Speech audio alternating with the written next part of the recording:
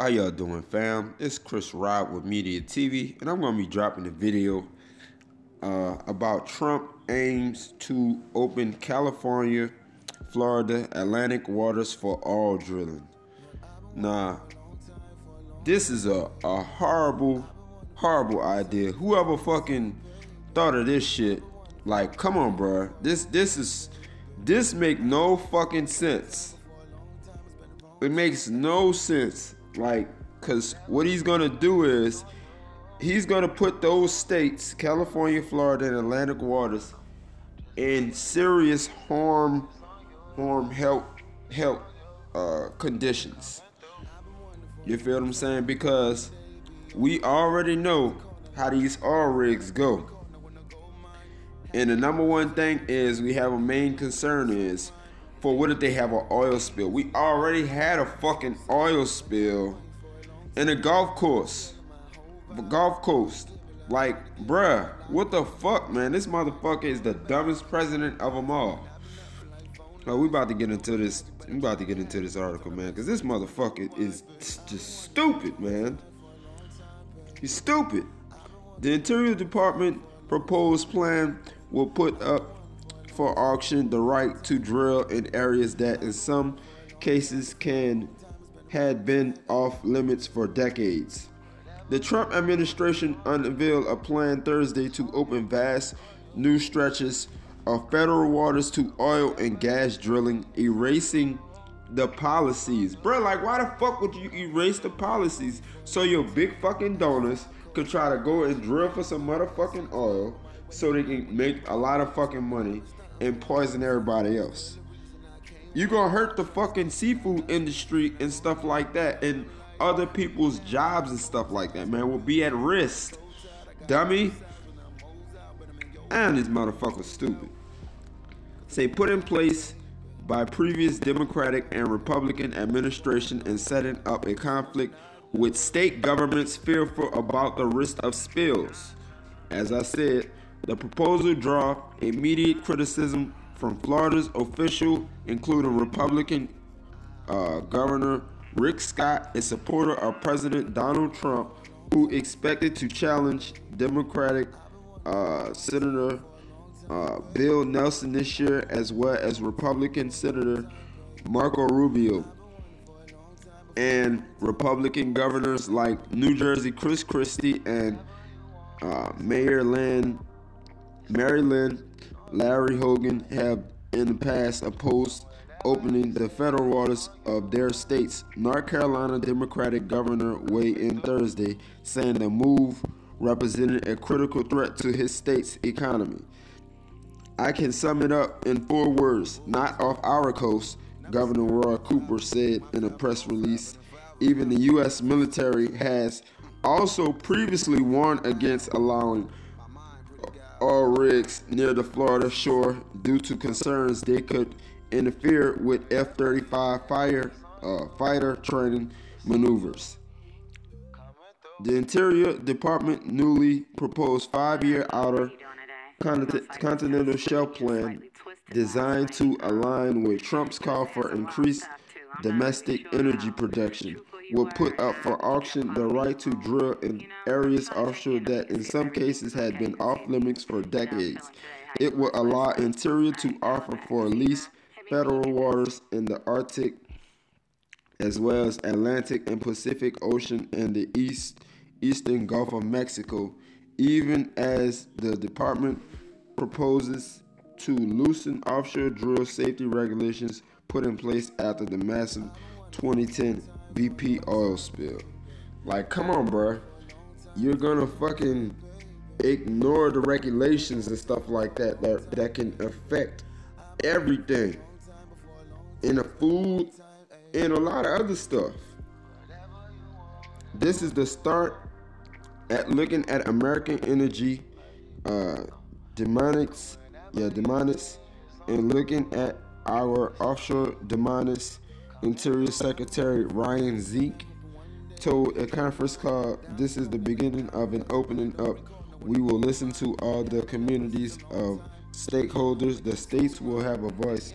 Thursday move starts a process that will run for at least several months since Interior is required to collect public comment on the plan.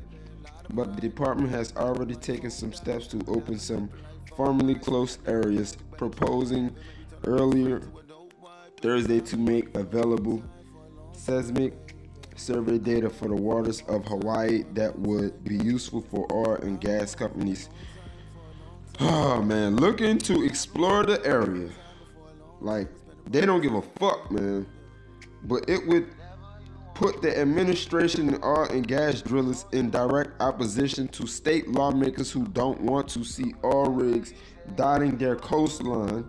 Tourism and golf course states took years to recover from the 2010 explosion of BP Deepwater Horizon oil rig, which killed 11 people, spewed nearly 5 million barrels of oil in the water, ultimately costing the oil company more than 40 billion in fines and clear cleanup.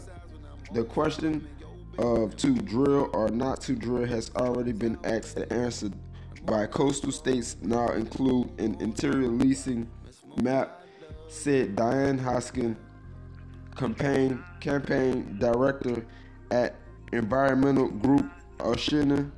Oceana. This plan proposed to open up places that have been closed to drill, drilling for more than 30 years, and we expect those communities to make their voice heard. Industry groups applauded the move, saying that energy companies will benefit from increased access to federal lands. Of course, they'll benefit, but the people that fucking stay there around that fucking uh the land and the coastal and stuff that they won't benefit because they'll lose a lot of money and they'll lose other things and the food and stuff like that. It's man, it's, they just fucking just thinking about fucking money, man. The plan announced today is a long-term commitment to securing our energy future and which help cement America's rose as an energy superpower, creating jobs and contributing to our economy, said Karen Herbert, Chief Executive Officer of the U.S. Chamber of Commerce Global Energy Institute. In a Senate floor speech Wednesday, Nelson vowed to fight drilling in the state's coastal waters and threatened to seek to undo any interior action by using the Congressional Review Act, a long shot move since Republican controlled both Congress and the White House. Nelson called on Floridians to join him in fighting the move, invoking BP's Deepwater Horizon disaster and saying they should remember what happened to us when the beaches of Pensacola beaches were blackened with tar and oil, and we lost a whole season of our guests, our tourists who came to this extraordinary state. Governor Scott also joined in calling for Trump to reconsider, saying he has asked to meet with Zinke directly to urge him to remove Florida's coast areas from the plan. The White House downplayed Scott's criticism and Press Secretary Sarah Huckabee Sanders told reporters, just because we may differ on issues from time to time doesn't mean that we can't have an incredible, good, and strong relationship. The proposal calls for the first lease sales to take place in the waters of Alaska northern coast before moving to the water of the lower 48 states.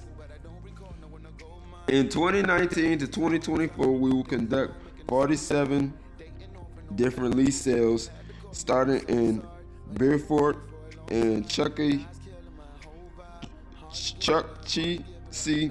Then we jump to lease sales in Pacific Gulf of Mexico and Atlantic planning areas. Kate MacGregor, Deputy Assistant Secretary for Land and Minerals Management, told the call. President Barack Obama had considered opening portions of the Atlantic coast to oil and gas explorations until local locals pushed back, convinced his administration to reverse course. But the Trump administration may not place as much weight on local imports, said Sierra Weaver, senior attorney at the Southern Environmental Law Center. The governors of Virginia and North Carolina have specifically asked to exclude those states from a five year leasing plan. Weaver said, You're going to see a fight here.